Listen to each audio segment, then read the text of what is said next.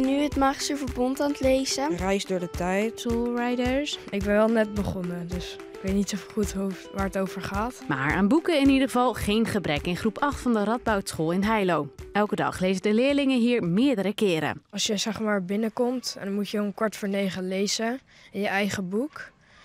En uh, je hebt ook nog de tweede leestijd, daar mag je zelf een boek kiezen. We hebben een bibliotheek en daar kan je gewoon een leuke boek uitzoeken. Ja, op zich wel goed, want het is wel goed voor je. Daar zijn deskundigen het helemaal mee eens.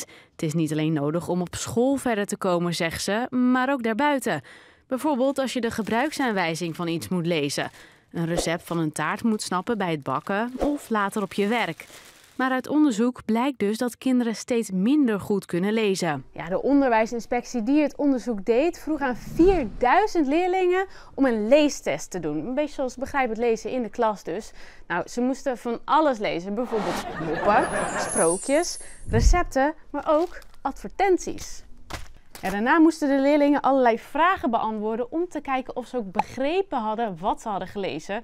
Nou, wat blijkt, dat valt nogal tegen. Het niveau is te laag. Er zijn altijd kinderen die het lezen moeilijk vinden, uh, ook jaren geleden al.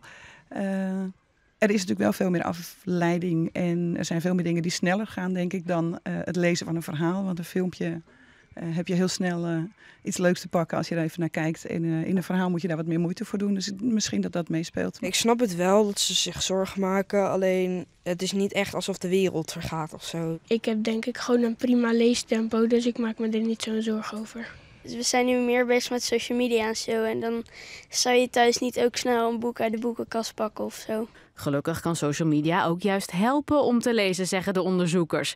Een trend als BookTok, waarbij mensen op TikTok hun favoriete boek delen, helpt bijvoorbeeld goed. Dit is Lees voor je lijf met Paula, deel 2. Maar, zegt ze, er kan nog veel meer. Bibliotheken zouden meer kunnen samenwerken met scholen. En ouders, die kunnen misschien wat vaker thuis het goede voorbeeld geven. En ja, de meester of juf zelf natuurlijk ook. Um, ik zou meer moeten lezen. Dus zelfs dat uh, is nog een uh, aandachtspuntje volgens mij. Laat ze het niet horen, want dan legt ze het boek weg hier. Dan zijn ze klaar.